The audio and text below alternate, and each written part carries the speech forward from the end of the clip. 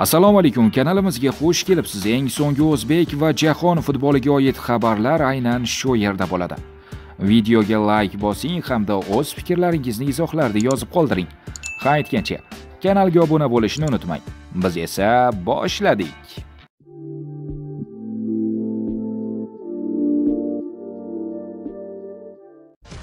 Fifa reytingi o'zbekiston milliy jamoasi so'nggi 6 yillikdagi eng yaxshi natijasini qayd etdi.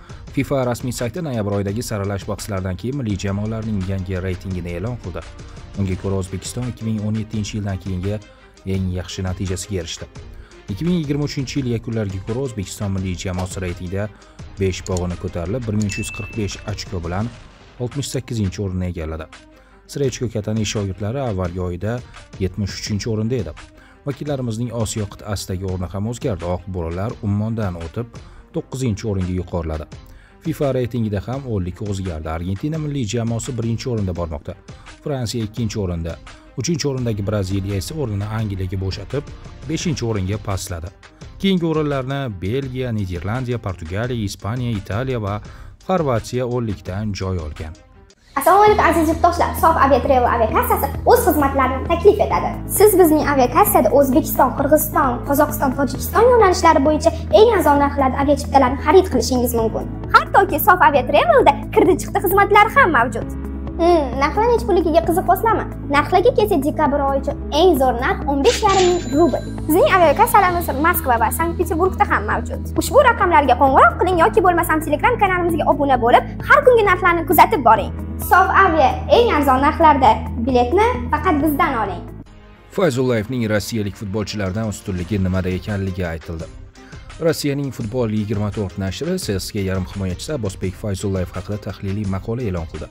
Unda o'zbekistonlik futbolchining ustun jihatlari tilga olingan. Fayzullayevning rossiyalik ko'pgina futbolchilardan asosiy farqi abbos xato qilish ehtimoli yuqori bo'lishiga qaramay to'pni oldingi chiziqqa yetkazib beradi. Buning uchun bosh murabbiy vladimir fedotovga olqishlar. Rossiyaning aksariyat jamoalari o'zbek futbolchisiga bu qadar erkinlik bermagan bo'lardi. Cska futbolchisining uzatmalar aniqligi o'rtacha 70 foizga teng. Bu esa rpldagi ko'p pleymerkerlarning ko'rsatkichidan past hisoblanadi. Masalan klaudinyoda bu ko'rsatkich 88 foizga teng. Ha bosning hamma uzatmalari ham manzilga aniq yetib boravermaydi ammo yetib borganda esa xavfli vaziyatlar yuzaga keladi. Fayzullayevning yana bir ustun jihatlaridan biri mustaqil qaror qabul qilishdan cho'chimaydi. Buning uchun unda asoslar yetarli. U kuchli zarbaga ega va chap oyoqda ham o'ynay oladi. Fayzullayev repel himoyachilari uchun qo'rqinchli tush yakkama yakka vaziyatlarda abbosdan nima kutishni bilmaysan. U o'ng oyoqda zarba berib qolishi mumkin to'p chap oyoqqa olishi mumkin to'xtatishi aylangan holda hujum boshlab qolishi yoki kesma pas berishi mumkin. Biroz xayol surib qolsang u sendan o'tib ketadi va zabolotnining boshiga aniq uzatma beradi. Bonus imkon bo'lishi bilan kuchli zarba beradi va to'pni olis burchakka yo'naltiradi. Rpl klublaridagi yarim himoyachilarni olib qaraydigan bo'lsak bir o'yinda o'rtacha zarbalar soni bo'yicha faqat klaudinyo va eduard spersian maqtana olishi mumkin deyiladi e'lon qilingan maqolada. Rodrigo messi haqida gapirishimga real ruxsat bermaydi. Real madrid hujumchisi rodrigoga yechel guruh bosqichi doirasida napoliga qarshi uchrashuvdan keyin jurnalistlar messi haqida savol berishdi. 2026 yilgi jahon chempionati saralash bosqichi doirasidagi braziliya argentina o'yinida rodrigo messi bilan bahslashib qoldi. Jurnalistlar mazkur holatga oydinlik kiritishni so'raganda hujumchi bunga izoh berishdan bosh tortdi. Bu haqida gapira olmayman nega? Chunki real madrid ruxsat bermaydi dedi futbolchi jilmayib. Shomurodov kuzatuvi ostida italiya seriyasi debyutanti kaleri rahbariyati chempionatning birinchi yarmi bo'yicha dastlabki xulosalarni chiqara boshladi. Klaudio ranieri shogirdlar uchun chempionat juda og'ir boshladi.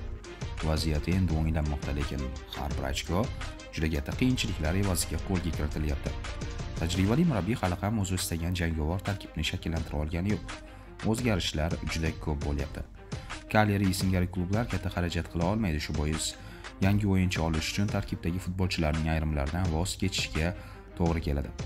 Nashr eksperti alberto masaning ta'kidlashicha klaudio ranieri boshchiligidagi murabbiylar shtabi dekabr oyi davomida bir necha futbolchilarning harakati va ko'rsatkichlarini tahlil qilib boradi.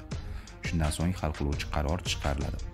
Klaudio ranyeri va sport direktori bonato diqqat bilan kuzatayotgan yana bir o'yinchi eldor shomurodov hisoblanadi.